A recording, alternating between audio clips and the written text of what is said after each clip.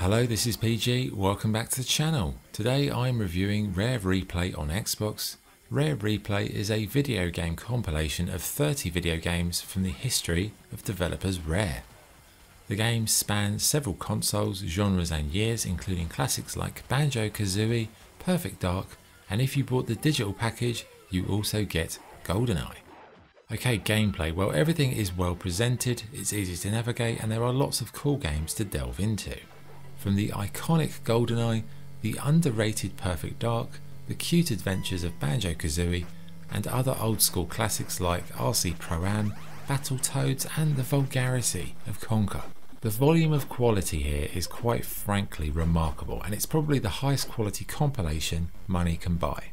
Rare were an iconic developer back in the day and they definitely showcase it here. You've got snapshots to play which are like challenges based on some specifications or you've got the full games depending on what you actually want to do.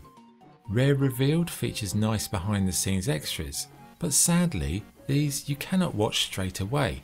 They've all been locked behind this sort of um, uh, achievement things by playing the games which I don't think is a particularly good idea because if you're buying a package of a compilation, you would like the extras, wouldn't you? I mean, graphics and sound, it's hard to sum it up because they're all different games, but you know, in terms of the package, it's well presented. It's got a nice video intro that's very slick, good menus. Um, it's all polished aesthetically in terms of the compilation. Right, verdict. Rare Replay is a great collection of iconic games from a developer who were regarded as one of the greats of my generation. Yes, perhaps the extras being locked behind achievements is a poor choice, but the sheer volume of games, the features, the slick presentation make Rare Replay an amazing package for retro game fans.